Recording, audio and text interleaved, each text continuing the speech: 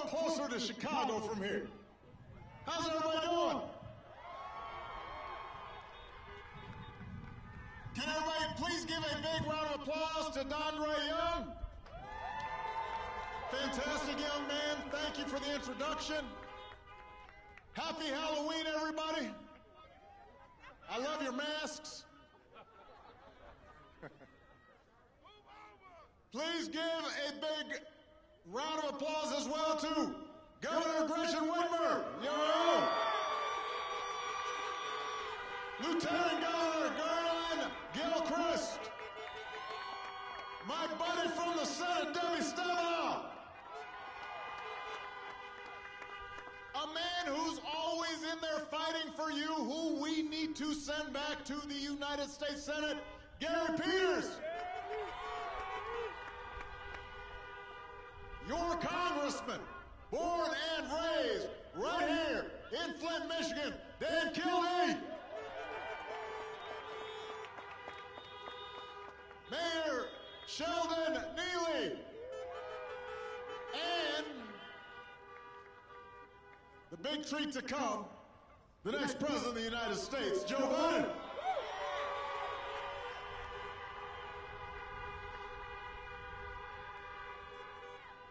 Three days, Flint.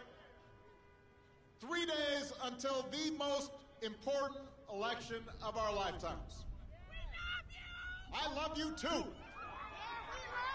Listen, I know right now you got the Michigan Michigan State game, and that's a big deal. Paul Bunyan Trophy's on the line. But this Tuesday, everything is on the line. Our jobs are on the line. Our health care is on the line. Whether or not we get this pandemic under control is on the line.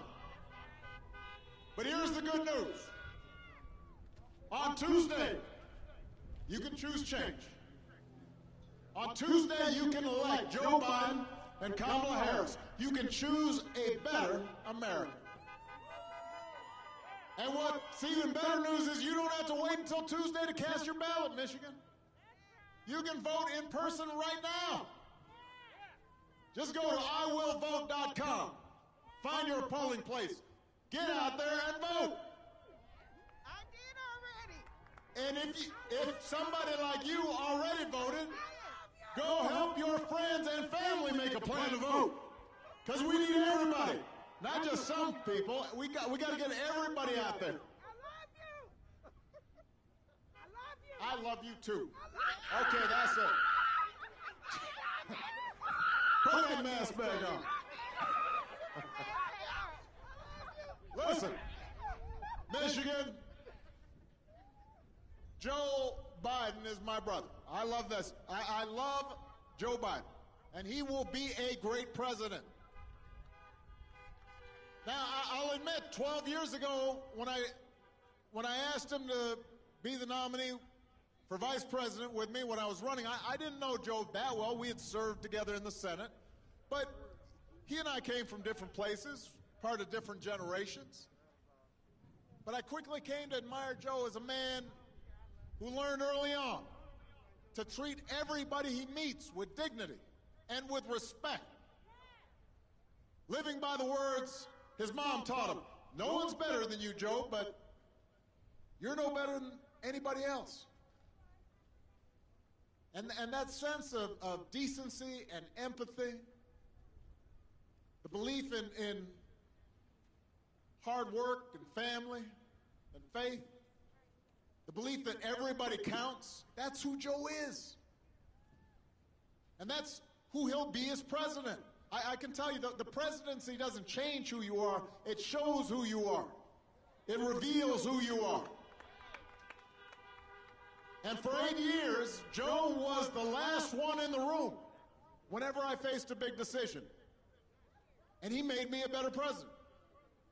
He's got the character and the experience to make us a better country. And he and Kamala are going to be in the fight not for themselves, but for every single one of us. And we sure can't say that about the president we've got right now. You know, I, I've said this before. I never thought Donald Trump would embrace my vision. I, I understood he didn't agree with my policies, but I did hope, for the country's sake, that he might show some interest in the job. He might take the job seriously. Eh, he never has. He hasn't shown any interest in doing the work or helping anybody but himself and his friends or treating the presidency as anything more than a reality show to give him the attention that he craves. But unfortunately, the rest of us have to live with the consequences. Almost 230,000 Americans are dead. More than 100,000 small businesses have closed. Almost 300 300,000 jobs are gone in Michigan alone. America just had its single worst week of new COVID cases. And what's his closing argument? Here we are. The worst week this week. I mean, we've been going through this now for months. The federal government has had an opportunity to respond for months. And his closing argument this week is that the press and people are too focused on COVID. COVID, COVID, COVID, he's complaining. He's, he's jealous of COVID's media coverage. And now he's accusing doctors of profiting off this pandemic. Think about that. He said this just yesterday. Said doctors are overblowing it because they're going to make money off it. Doctors. He cannot fathom. He does not understand the notion that somebody would risk their life to save others without trying to make a buck. His chief of staff says, We're not going to control the pandemic. That's a quote. Said it last week. We are not going to control the pandemic. We noticed, Mr. Chief of Staff. We understand you're not going to control the pandemic. But you know who will? Joe Biden will. When we elect him President of the United States.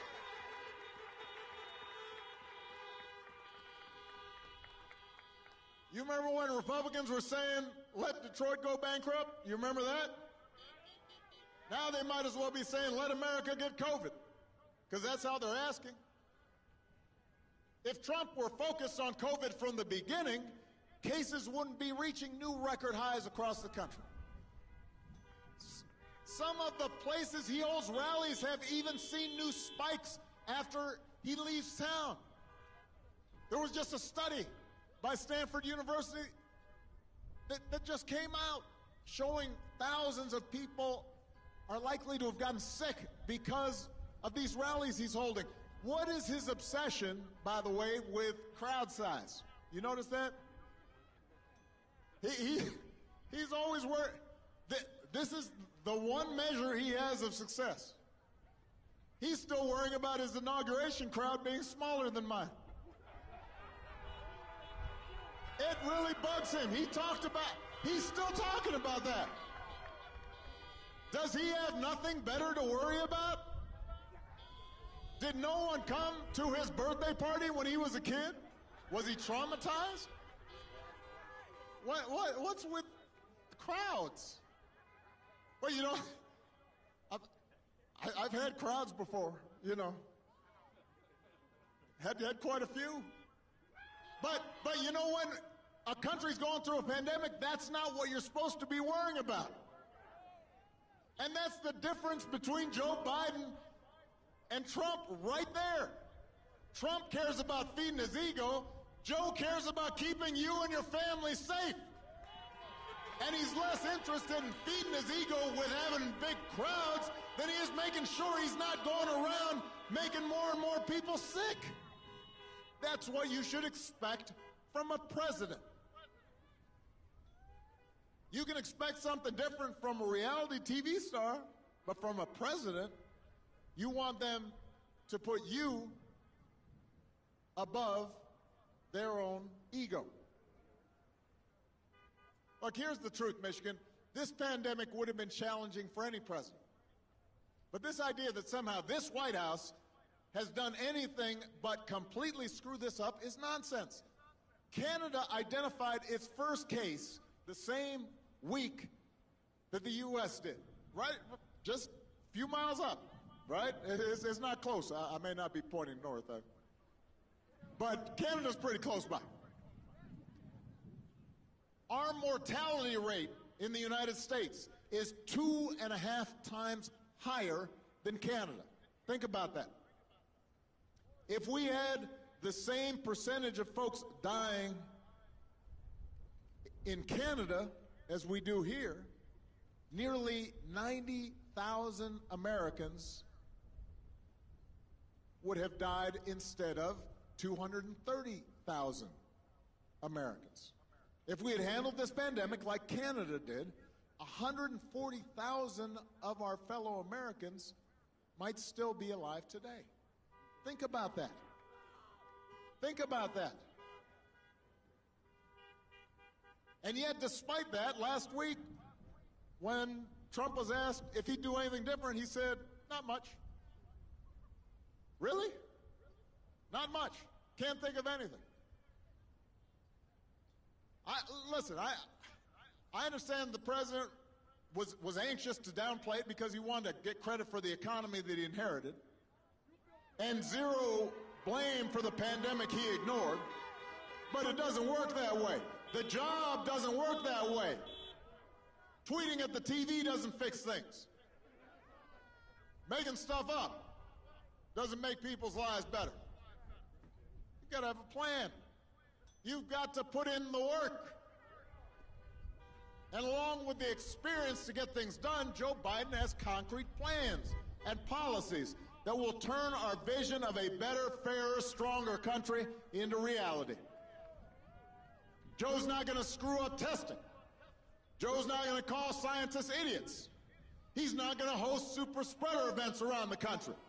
What Joe will do is get this pandemic under control with a plan to make testing free and widely available, to get a vaccine to every American cost free, and make sure our frontline heroes never have to ask other countries for the equipment that they need. That's what Joe Biden will do.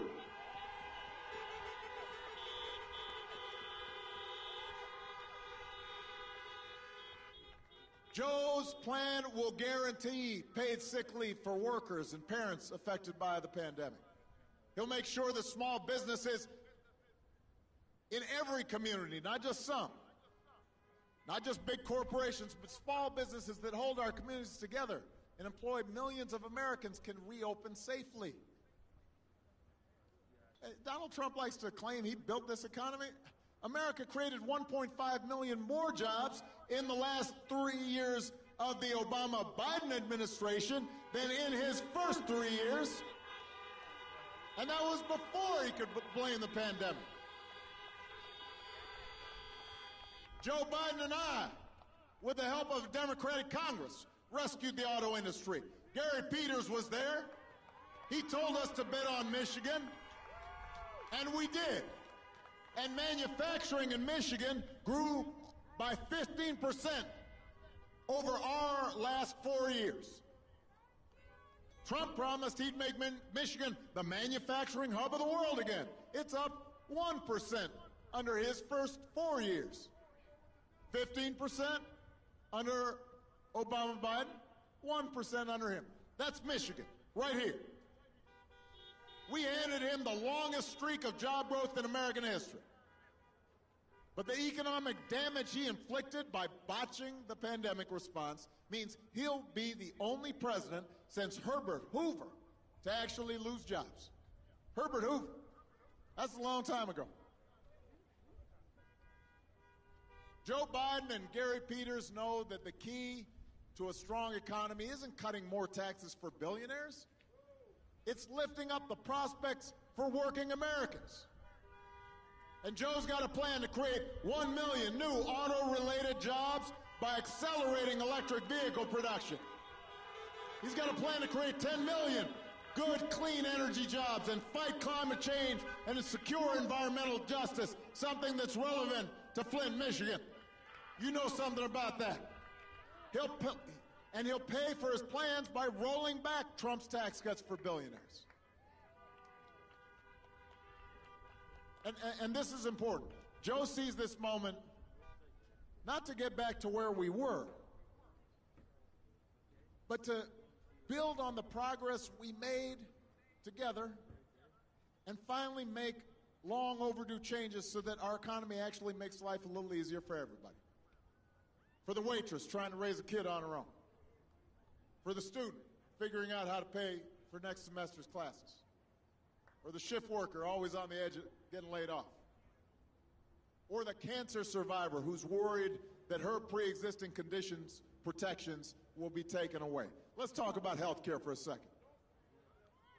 Let's talk about health care for a second. Republicans love to say right before an election that they'll protect your pre existing conditions. That's what they say. Well, you know what? Joe and I actually protected them 10 years ago with the Affordable Care Act.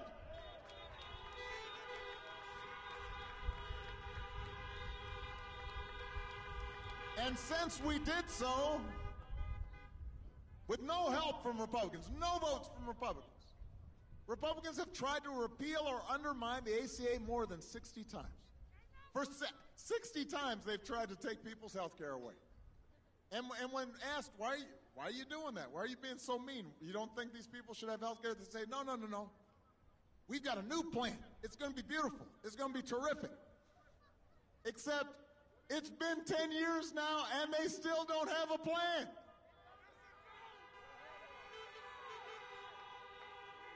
They're trying to bamboozle you.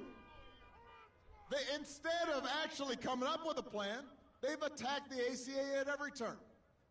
They've, they've driven up costs. They've driven up the number of uninsured. Now they're trying to get the Supreme Court to take your health care away in the middle of a pandemic. In the mid, right at the time when people need health care. They, they're, they've signed on to a case right now in the Supreme Court where they're trying to take insurance away from folks who need it with nothing but empty promises to take its place.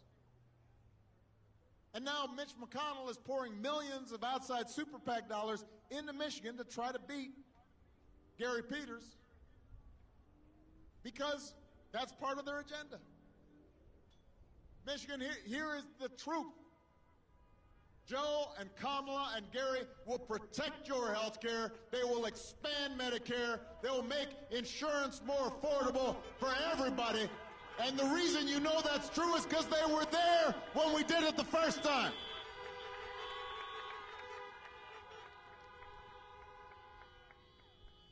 And here's another thing with Joe and Kamala at the helm, this is a big benefit. Michelle and I were talking about this over dinner the other day. You're not going to have to think about them every day. You're not going to have to argue with your family about them every day. It won't be so exhausting. You'll be able to get on with your lives knowing that the president is not going to suggest we inject bleach as a possible cure of COVID. You won't have to find out. You won't. You won't. You won't wake up in the morning and kind of open your phone. Oh, newsflash! Uh, the president retweeted conspiracy theories that the Navy SEALs didn't actually kill Bin Laden. You're not going to have a president who goes out of his way to insult people just because they don't support him. This is not normal behavior, people. We would not tolerate it from a teacher or a coach or a coworker or a family member. If if a neighbor was acting like this, you'd stay away from that neighbor. Why would we accept it from the president of the United States? And you know what? There are consequences to this action. There are consequences to his actions. It's, it's not just a joke, it's not funny. Those actions embolden other people to be mean and divisive and racist.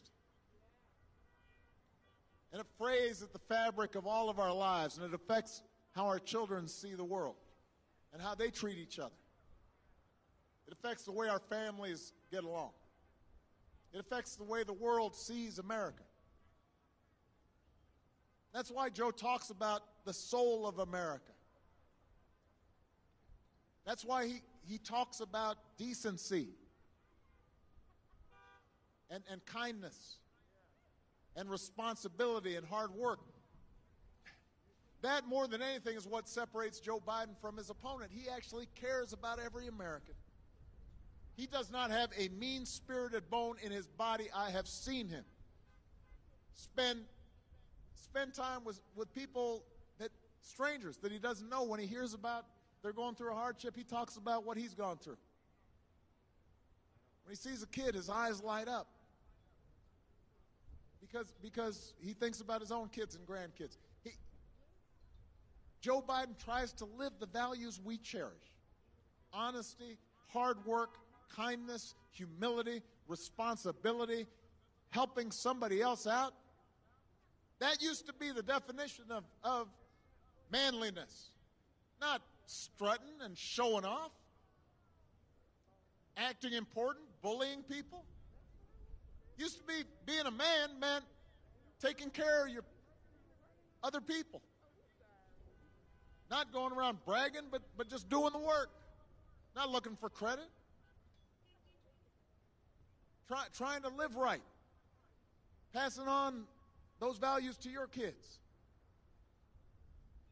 Looking out for a community. Carrying your weight. Giving up a little bit of what, what you might have to help somebody who has a real need. When you elect Joe, that's what you'll see reflected from the White House. And those shouldn't be Republican or Democratic values. They didn't used to be. They're what we grew up learning from our parents and, and from our grandparents. And they're the values we still try to teach our kids. And they're not white or black or Hispanic or Asian or Native American values, they're American values. And we've got to reclaim them right now. But to reclaim them, we're going to have to turn out like never before. If we're going to reclaim those values, we need to leave no doubt. We can't afford to be complacent. Not this time. Not in this election. We got a little complacent the last election. And listen, I understand why Americans get frustrated and sometimes think government's not going to make a difference, voting's not going to make a difference. I understand that. Government's not perfect. The people in government are not perfect, even when it's working. Government's not going to solve every problem. But we can make things better. A president can't by himself solve every challenge facing the economy here in Flint or Michigan, but if we elect people like Gary Peters and Dan Kildee and we get a House and a Senate joined with a White House that are more focused on working people and getting you the help that you need, they will make a difference. And some folks will get jobs that wouldn't otherwise have jobs and some folks will have health care that wouldn't otherwise have health care. A president by himself can't eliminate all racial bias in our criminal justice system. But if we elect district attorneys and state's attorneys and sheriffs focused on equality and justice, and we once again have a Justice Department and a Civil Rights Division in the Justice Department that cares about these issues, we can make things better. And that's what voting's about. Not making things perfect, but making things better. It puts us on a track so that generations from now we can look back and say, you know what? Right about then, things start getting better again. The fact that you don't get 100% of what you want right away, that's not a good reason to vote. You just got to keep at it. You know, typically just over 50% of us vote who are eligible. Think about that almost half of the people in most elections who are eligible to vote don't vote. Imagine if 60% of us voted. Imagine if 70% of us voted. Imagine January 20th, when we swear in a president and vice president who's got a plan to get us out of this mess, who care about folks like you, who've been in your shoes, who know what it's like to struggle, who know what it's like to have to work hard, who are thinking about working Americans and have a plan to help you start getting ahead. Imagine what it's going to be like to have a president and a vice president who believe in science and who have a plan to protect this planet for our children and who believe in racial equality and are sending a clear signal that we're all in this together and are doing the work to bring us closer so that we have an America where no matter what we look like, where we come from, who we love, or how much money we've got, we, we can make it. And we have a place, and we're treated with dignity and respect. Michigan, that's what's possible. And I'm asking you to remember that it's possible. I want you to remember what this country can be. But you can't just imagine a better future. You can't just wish for it. You've got to fight for it. You got to fight for it. We got to out hustle the other side. We got to vote up and down the ticket like never before, right here in Michigan and all across the country. We've got to leave no doubt about who we are and what this country stands for. And if we do, we will send Gary Peters back to the Senate. And we will elect a man who loves this country and who cares about you and who will fight for every single one of us and will look out not just for folks who support him, but even the folks who don't. My friend, the next president of the United States of America, Joe Biden. Joe Biden.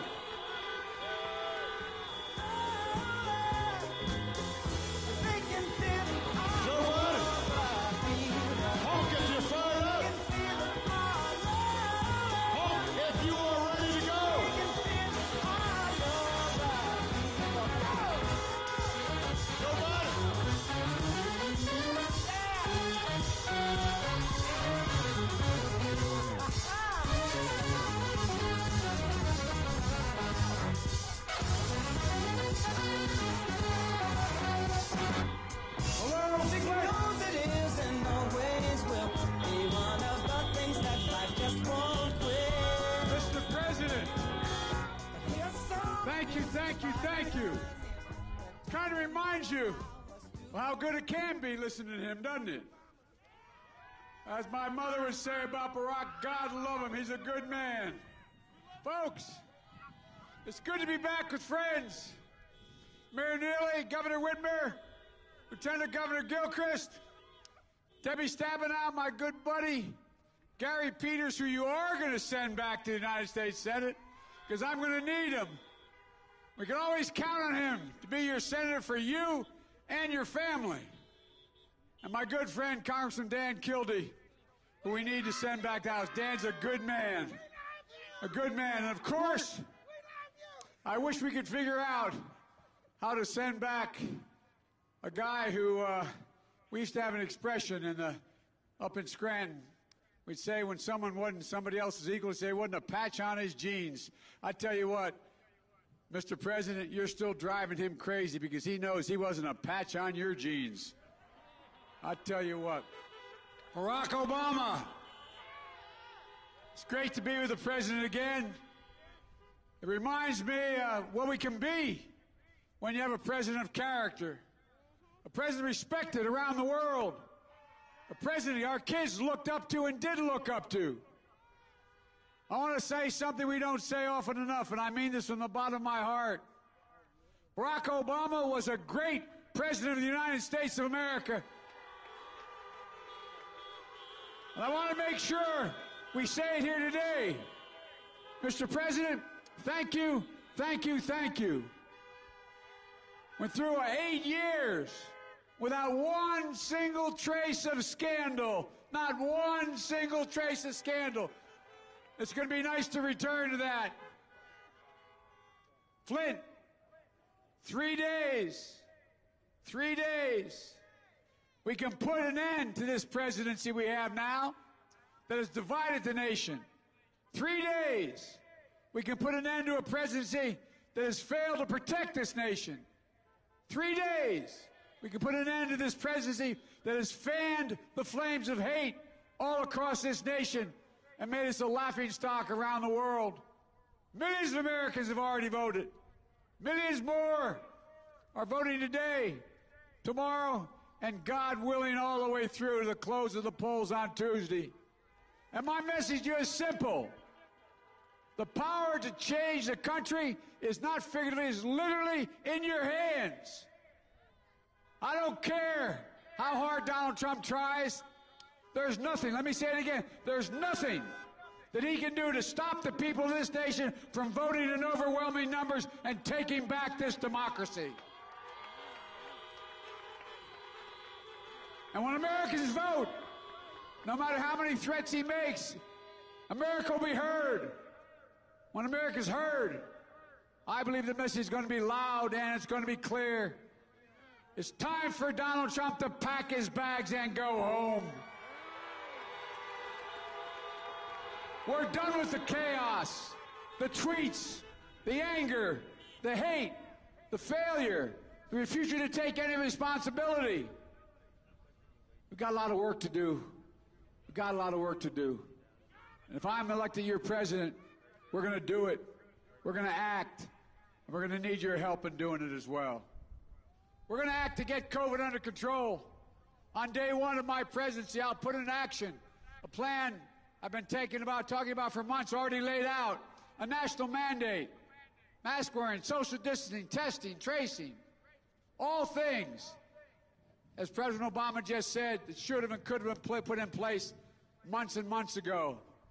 A plan for a full and fair and free, I might add, distribution of therapeutics and vaccines when we get one. Imagine where we'd be if we had a president who wore a mask instead of mocking it. I can tell you this we wouldn't have 9 million confirmed cases of COVID in this nation, over 230,000 deaths. We wouldn't be seeing a new record of cases we're seeing right now 90,000 cases today, yesterday. 90,000 new cases. We wouldn't be facing, by the way, 500,000 in just the past week.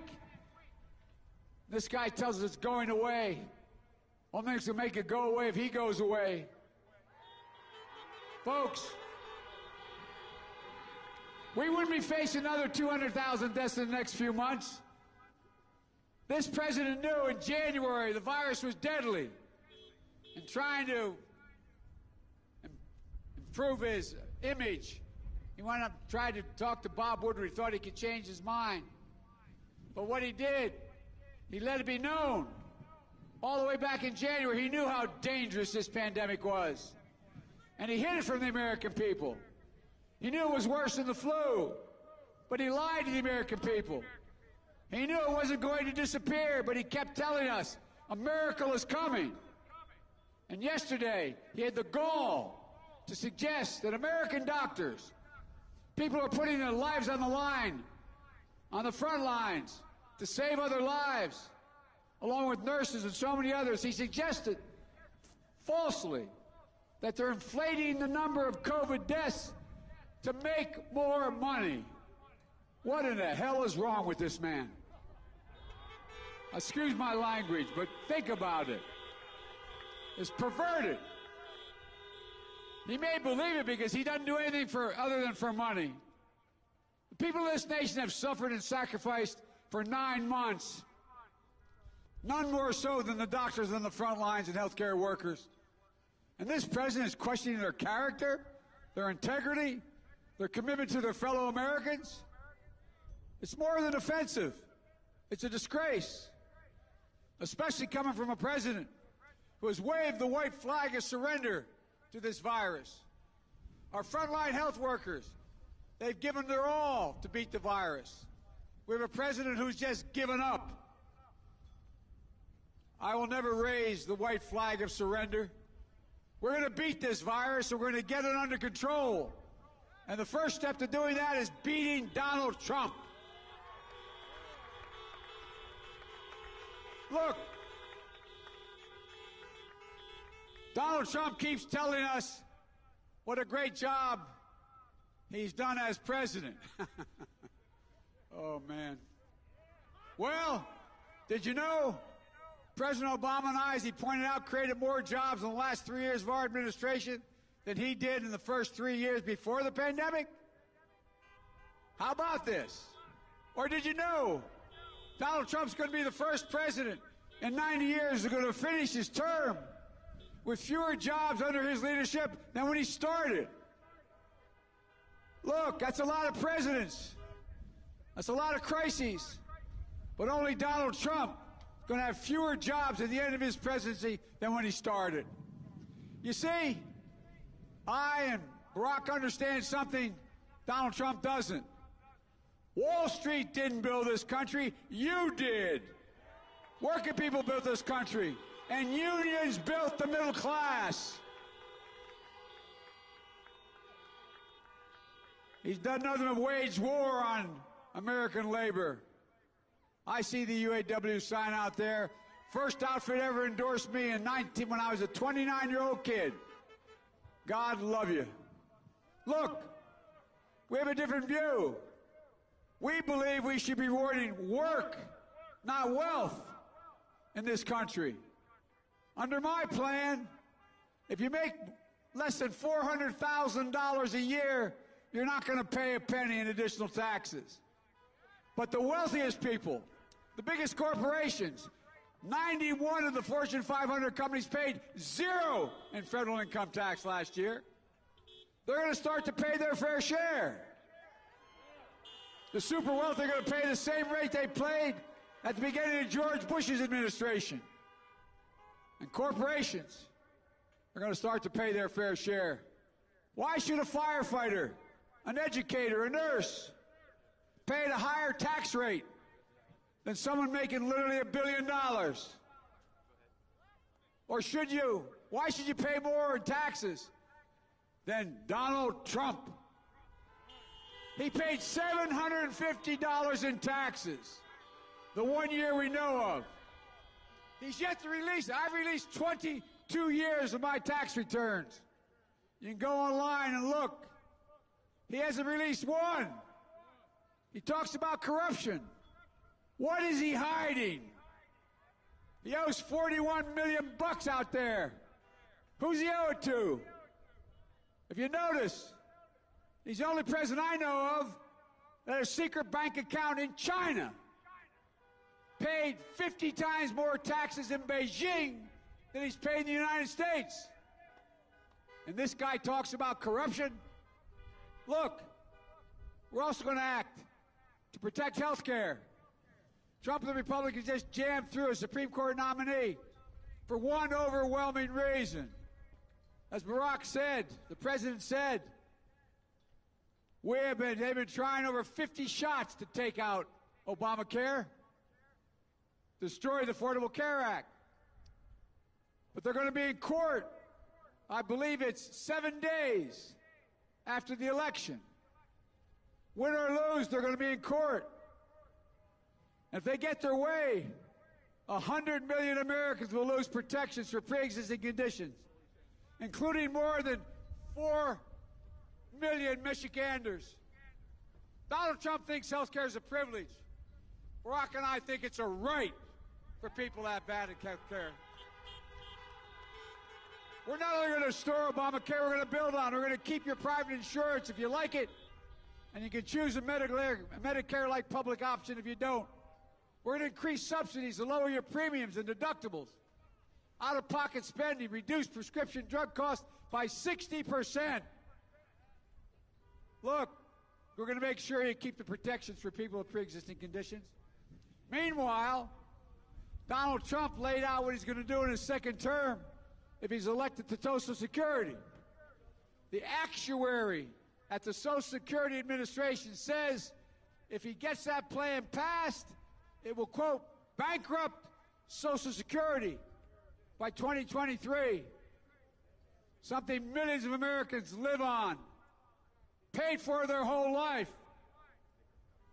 When I said back six years ago, as Debbie will tell you, when I said the Republicans were going to try to eliminate Medicare, everybody said, no, that's crazy. First thing Paul Ryan and the Republicans in the Congress did was try to cut billions of dollars out of Medicare. These guys mean what they say.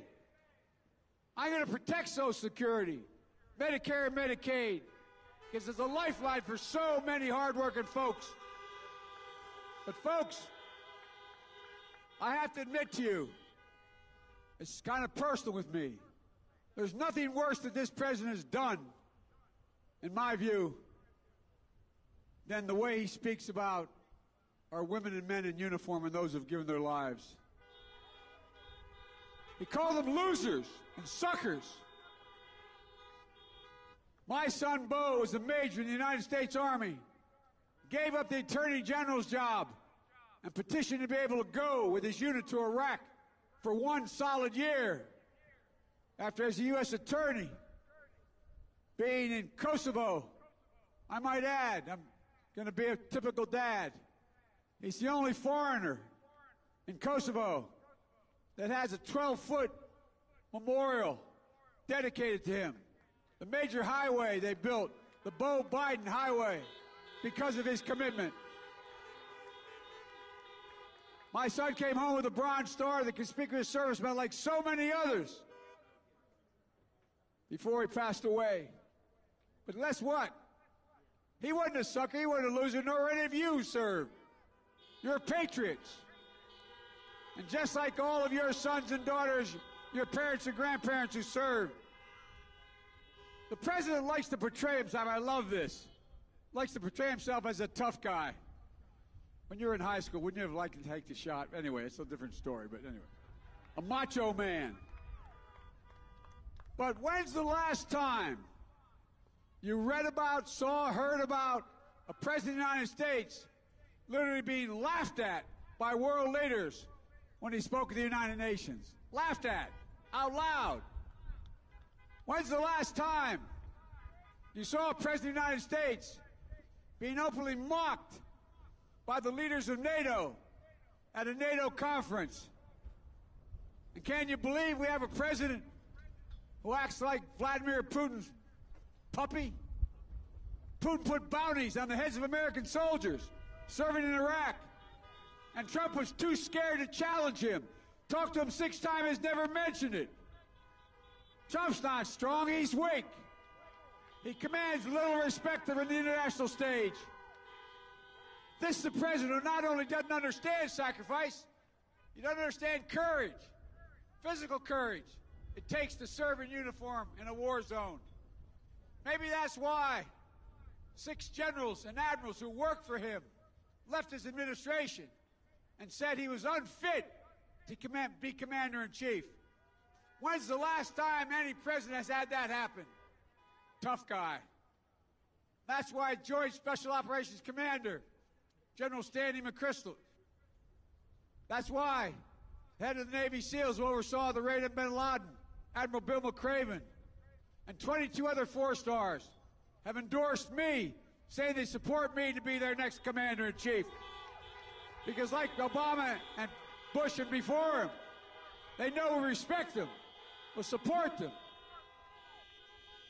I've been in and out of war zones as senator and vice president over 35 times. I tell you what, these folks we have, only 1% of the country is in the military. We owe them. They're the backbone, they're the sinew, they're the heart of who we are. That's why we have to support our military and get rid of Trump. Folks, you know, I want to tell you something. Think about this. This is a guy who says there's no such thing as climate change. He calls it a hoax. I see it as jobs, health, and safety. The impacts on climate are too often fall disproportionately on poor communities and communities of color. We're going to make sure communities benefit from the hundreds of billions of federal investment in infrastructure and climate change we're going to do as a consequence of the change in the structure. We're going to create local jobs to rebuild roads, fill sidewalk cracks, install broadband, create spaces to live, work, and play safely, to modernize infrastructure so you can turn on the faucet and clean water comes out. And when that happened in Flint, will never happen again anywhere in America. We can and must do this. Donald Trump has rolled back more than 100 environmental protection laws, many enacted under Barack and me. It also holds polluters, accountable with the most ambitious environmental justice agenda ever. Folks, we're an act to deliver on racial justice in America. Protesting is not burning or looting. Violence has, cannot be tolerated, and it won't. But these protesters are a cry for justice. The names of George Floyd, Breonna Taylor, Jacob Blake will not soon be forgotten. They're going to inspire a new wave of justice in America. America has had their eyes opened up. They're ready. Look, I believe this country has to come together. I know when I announced well over a year ago, when I said I wanted to unite the country, everybody said that's naive. That was a long time ago. You did it before Biden, but you can't do it again. Well, we can and we must. We have no choice. That's how democracies work. I'm running as a proud Democrat, but I will govern as an American president. I'll work as hard for those who don't support me as those who do. That's the job of a president. It's a duty to care, a duty to care for everyone. So please vote. You still have an absentee ballot? Get it to a drop box as soon as you can. You can also safely vote early until Monday afternoon, or you can vote election day. Just make a plan. Help get out the vote. As he's heard this 10 times already. Visit iwillvote.com slash MI. Folks, we have such an incredible opportunity. Well, God love you. Thank you very much. But here's the deal, guys. We got to vote up and down the ticket here. I honest to God believe. I give you my word as a Biden. I honest to God believe. We're in the cusp. We're in an inflection point. We have a chance to make such enormous progress because the American people have seen what the other looks like. They've gotten a glimpse of the abyss. I really mean it. They're ready. They're ready to change so much. I'll never forget what President Kennedy said when he promised to send us to the moon. He used a phrase that has guided me. He said, We're doing it because, quote, we refuse to postpone. Well, I refuse to postpone the incredible opportunities to the United States of America for the American people. There is nothing beyond our capacity. There is no limit to America's future. The only thing that can tear America apart is America itself. And that's exactly what Donald Trump has been doing from the beginning of this campaign. Dividing America, pitting Americans against one another based on race, gender, ethnicity, national origin. It's wrong. It's un-American. That's not who we are. Folks, everybody knows who Donald Trump is. Let's keep showing them who we are. We choose hope over fear. We choose unity over division. We choose science over fiction. And yes, we choose truth over lies. And fellow Americans, it's time for us to stand back and stand up and take back our democracy. We can do this. We're so much better than we've been. We can be what we are at our best the United States of America. God bless you all.